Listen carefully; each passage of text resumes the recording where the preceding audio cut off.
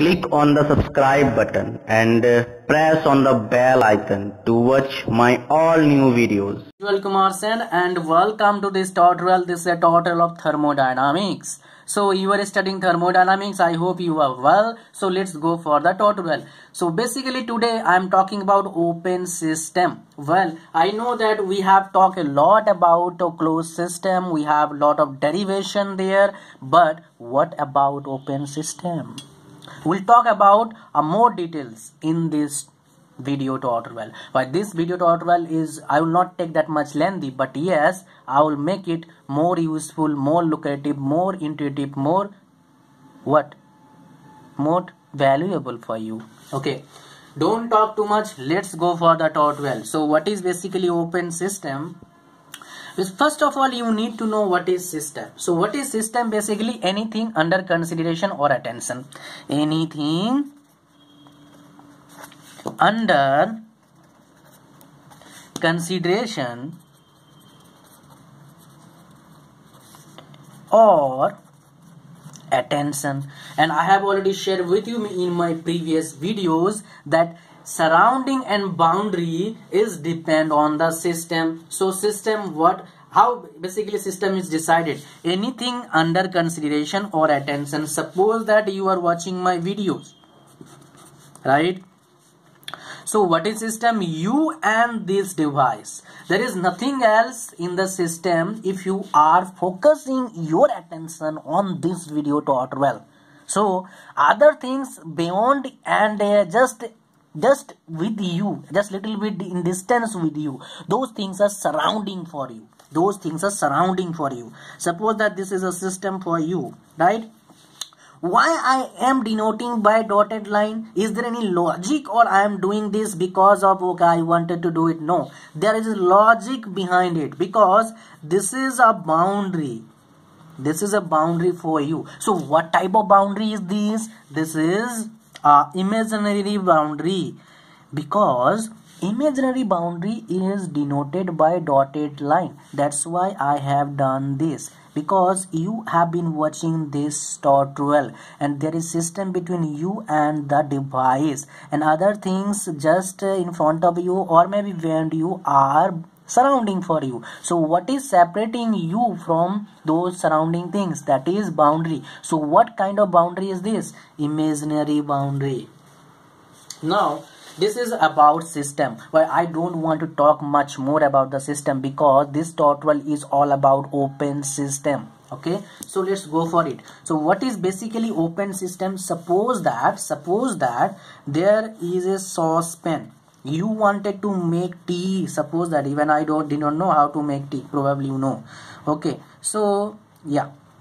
What we are giving basically we are giving external source external source of heat. Maybe we are heating this gas by lpg gas okay after giving this external source definitely the temperature inside this pot water temperature will definitely increase isn't it?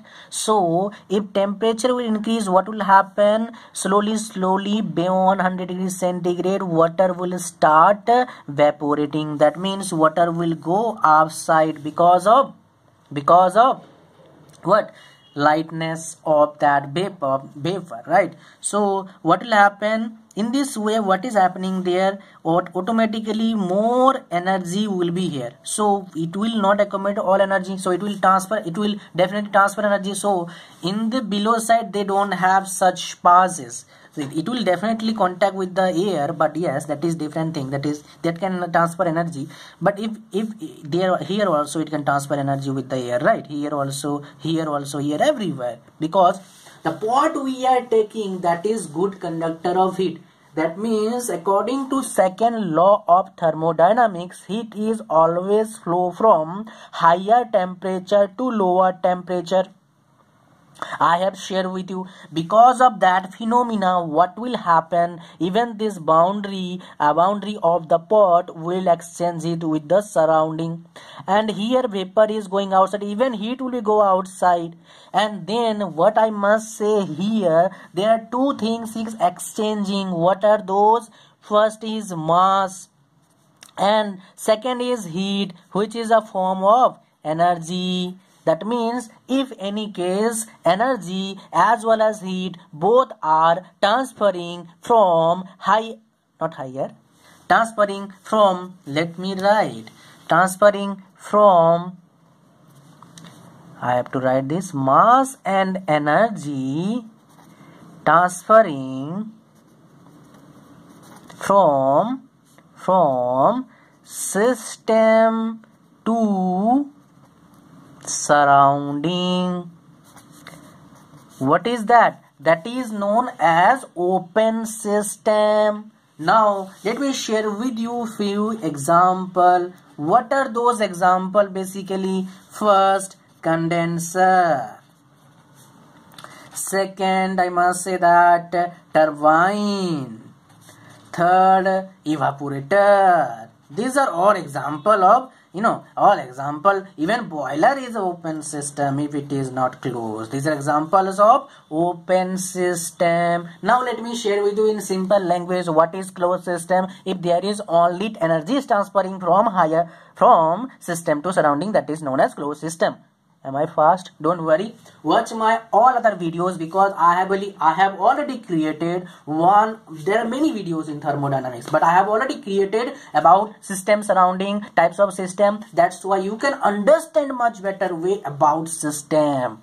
All right? So the example of closed system is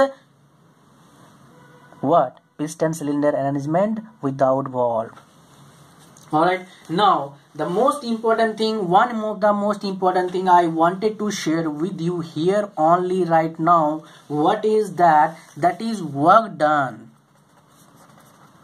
Work done in case of open system in case of open system. An open system is having another name that is steady work. What is that? Steady work so what is basically the formula for finding out work done in case of open system? That is the general formula because every process having different different formula will drive each and every what process. Okay?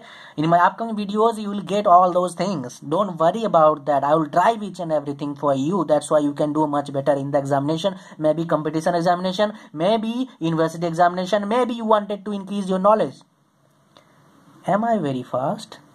No don't worry because those things is not that much make sense.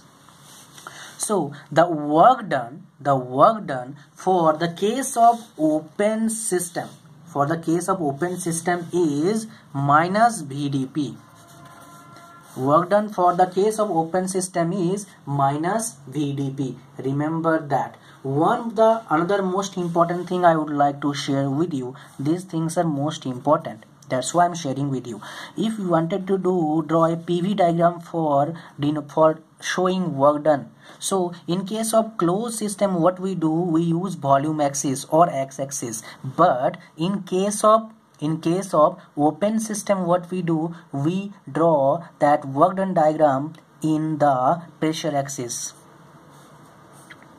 so in the interview they will ask you question that in which axis we can draw this diagram. Then you can use this. So here v1 is equal to v2 you can say this right? So it's p p2 and it's p1 okay? Let's say you can do it, you can easily do. So this is a work done diagram okay? For for what? For open system in examination or in an, this is a, this is a question they ask in case of interview. Okay in many interviews i have heard from my friends that they are asking question about which axis. So don't say like this or like that. Don't say it's horizontal or vertical. Always say maybe p direction or y direction maybe say x direction and v direction. That is the that is one of the ethical way to share with you. Then even interviewer come to know that you are having very good knowledge about this subject.